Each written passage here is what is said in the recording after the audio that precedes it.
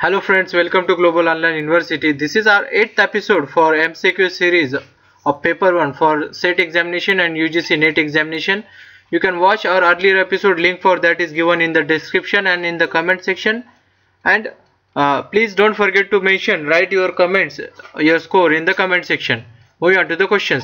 First question is primary education in mother tongue has been safeguarded in article.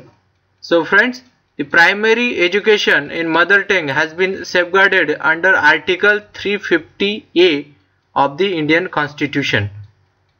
So uh, this is the correct answer. I hope you got it right.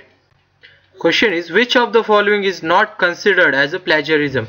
So friends, uh, first of all understand the plagiarism is taking someone's work and not giving him a credit is called plagiarism in any uh, scientific field. So here first option make use of another uh, work work of another and misrepresent it. So this is a this is also a plagiarism drawing content from someone else's work without acknowledging him. So here uh, you are taking someone's work but you are not giving credit. So this is also plagiarism paraphrasing too closely to the original text. Sometimes what uh, authors do that they write a paragraph uh, which has similar meaning similar meaning but they paraphrase it in such a way that it it looks different and no software will detect it. But this is also comes under plagiarism and uh, option D drawing content from work of another and acknowledging it. So this is not plagiarism. You can ask take uh, someone else's work write it, it and give a due credit to it uh, in reference or in bibliography.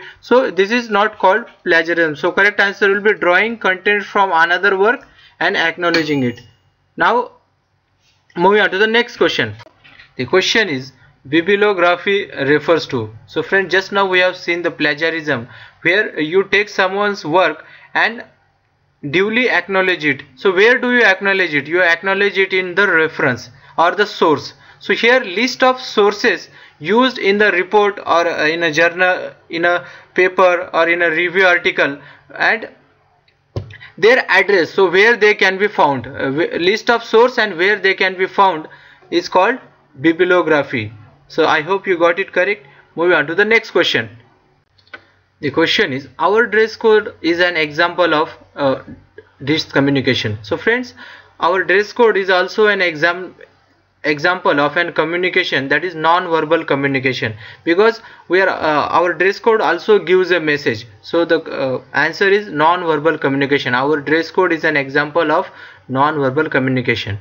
Moving on to the next question question is hearing is only an important component of so friends hearing itself is an important component of listening because listening has three important steps. First is hearing then attending and then receiving. So remember this listening has three steps.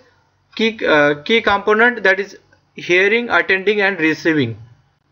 Next is letter email or telephone are an example of. So friends letter email and telephone are channels to pass a message. Remember this they are channel to pass message from the sender to the receiver.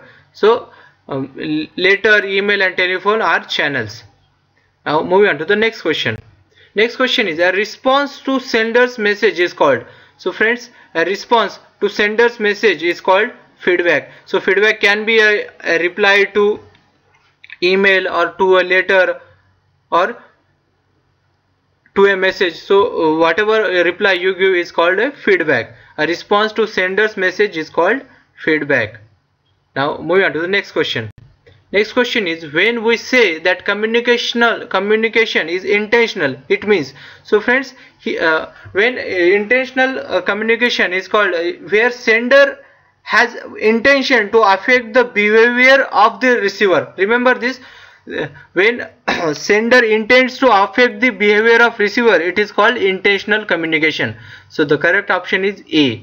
Now moving on to the next question. Next question is identify the correct sequence in the communication. So friends uh, so far we have seen few uh, questions. So you might have got the idea of what is the correct sequence. So the correct sequence is first uh, sender he uh, gives a message through a channel to the receiver. So uh, remember this the uh, current sequence is first sender then message then through channel to the receiver. So the the correct answer here is D. Uh, but I have wrongly marked A. The correct answer is D. Remember the correct answer for this sequence is sender message channel and receiver. Now moving on to the next question which type of waste is classified as non-hazardous waste? So this is our last question and uh, it is easy. The non they have not asked for the hazardous waste. So the chemical nuclear or industrial waste are classified into hazardous waste but the agricultural waste is non-hazardous waste. I hope you have liked it. Please subscribe to global online university. Thank you